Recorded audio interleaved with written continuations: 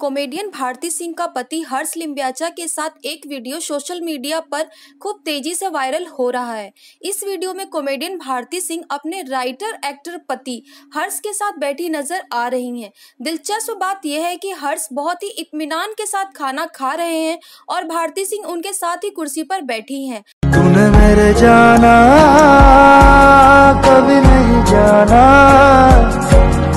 इश्क मेरा दर्द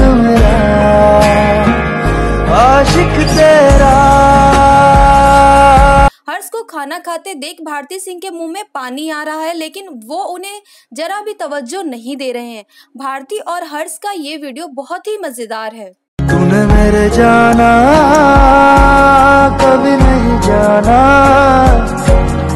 इश्क मेरा, दर्द मेरा। आशिक तेरा विस्तार से जानकारी के लिए सब्सक्राइब करें हमारा चैनल और क्लिक करें बेल आइकन पर ताकि कोई भी खबर आपसे अछूती ना रह सके।